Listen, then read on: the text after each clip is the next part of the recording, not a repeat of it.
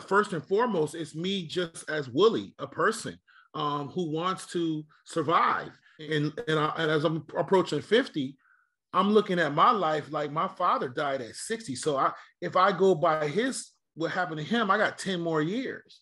You understand? So so that that's that gets very scary when you think about it, because he died very, very young with full stage blown out um um metastasized cancer all wrapped around his whole aorta his, his whole body you know? So and within he was diagnosed in december of 2000 and 2000 he died in april.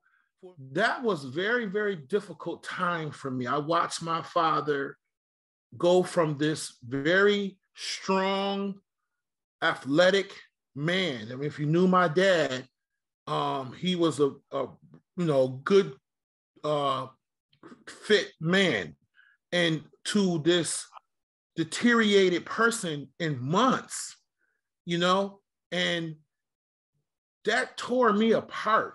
I don't think I've ever recovered from it, to be quite honest with you. And so that by itself was an incentive for me to say, the minute you mention the word cancer to me, it goes, it, it's very sensitive to me. I don't care what kind of cancer it is.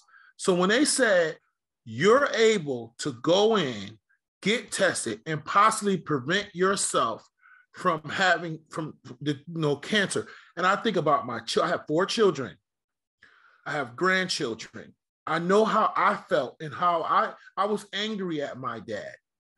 You know, because I said, why if this could have been prevented, why didn't you do that? So, I said, I have a chance to maybe do what I wanted him to do and go and take this test.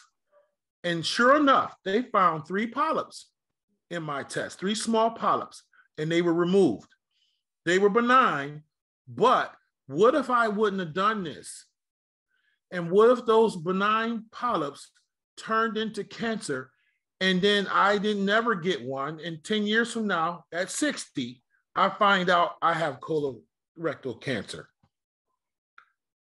You know, and what the and, and and I was given an opportunity not to.